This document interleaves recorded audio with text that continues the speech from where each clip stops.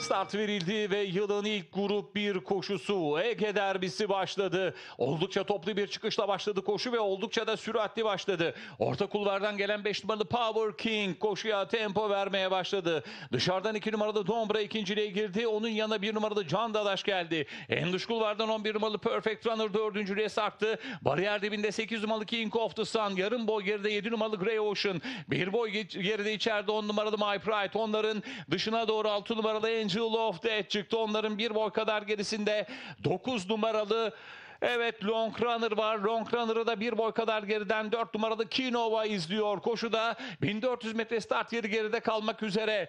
5 numaralı Power King koşuya liderlik yapıyor. Aradaki farkı 2-3 boya kadar taşımaya çalışıyor. 1 numaralı Can da şimdi ikinciliğe girdi. Farkı bir boya. Şimdi yarım boya kadar indirdi. Bununla yetinmiyor. Rakibinin dışına çıkmaya çalışıyor.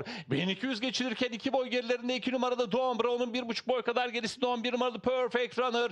Yine dördüncü sıradaki yeri tutuyor. Onların 2 boy kadar gerisinde 8 numaralı King of the Sun. Yarım boy geride 7 numaralı Grey Ocean hemen dışında. 6 numarada Angel of Death. 1 boy gerilerinde 3 numarada Eldino. Onun 1 boy kadar gerisinde. 9 numarada Long Runner daha sonra Kinove ve My Pride sırasıyla son 800 metreye şimdi girildi. 1 numaralı Can Dadaş liderliği istiyor. İçeriden 2 numaralı Dombra da katılıyor. Ve bu iki safkan 5 numaralı Power King'ten liderliği ortaklaşa alıyor. Koşuda son 600'e doğru iç kulvarda 2 numaralı Dombra az farkla öne geçti. Şimdi farkı bir boya kadar çıkardı. 1 numaralı Can Dadaş ikincilikte üçüncülüğe 8 numaralı King of the Sun girdi.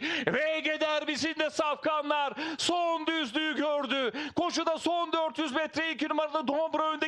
İçeriden 8 numaralı King of the Sun yüklendi geldi liderliği aldı. Farkı bir anda 3 boya kadar çıkardı. Gerilerden 9 numaralı Long Runner'ın gayretleri var. 7 numaralı Grey Ocean'la birlikte koşuda son 200 metreye şimdi girildi. 8 numaralı King of the Sun önde dışarıdan 9 numaralı Long Runner atak yapıyor. Rakibini yakalamaya çalışıyor. Dışarıdan Long Runner yükleniyor. Geliyor. Koşuyu kim kazandı? Karar. Varış hakemlerine kalıyor.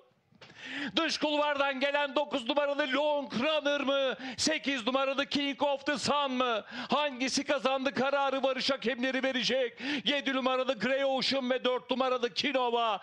Üçüncülük için son çizgide buluştu. Birincilik kararı derbinin kralını foto finish resminde göreceğiz.